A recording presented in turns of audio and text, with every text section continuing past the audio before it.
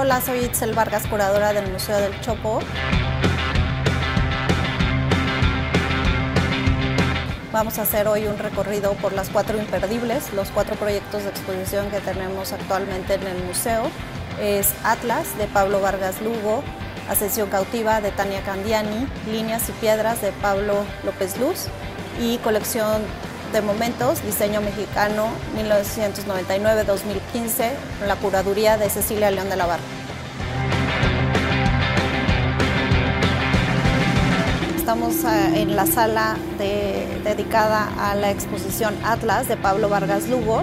Pablo lo que nos ofrece es una secuencia de imágenes que a partir de alas de mariposas, donde el espectador pues, puede tener un recorrido visual sumamente eh, interesante, eh, con música de eh, Juan Cristóbal Cerillo y con la fotografía de Rafael Ortega. Ahora estamos en la Galería Central del Museo del Chopo frente al proyecto de Tania Candiani titulado Ascensión Cautiva, en este proyecto lo que hace Candiani, que lo, bueno, lo divide en tres etapas. La primera fue un taller de confección, aquí hubo un equipo de costureras que estuvieron haciendo el proceso de corte y confección de un globo aerostático eh, la segunda etapa consistió en la ascensión del globo frente a los espectadores el día de la inauguración y posteriormente la tercera etapa es la que ahorita está, que el globo está cautivo en ascensión dentro de la galería central.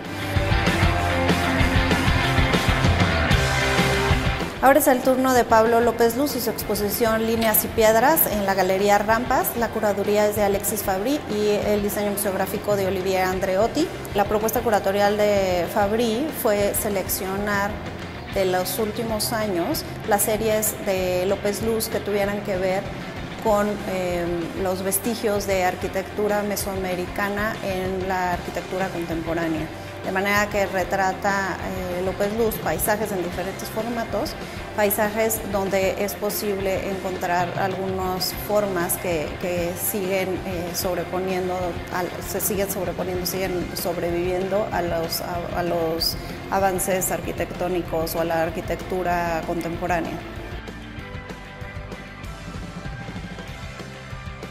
Por último, estamos en la Galería Helen Escobedo en la exposición Colección de Momentos Diseño Mexicano de 1999 a 2015. En ella traza la historia de estos, de estos años de producción, quiénes han, sido los agentes más importantes eh, que han contribuido al diseño hecho en México, cuáles han sido los foros, las publicaciones. Entonces, todo un recorrido por, por la historia del diseño en los últimos años eh, y fue un proyecto realizado gracias a la colaboración con World Design Capital y Design Week México.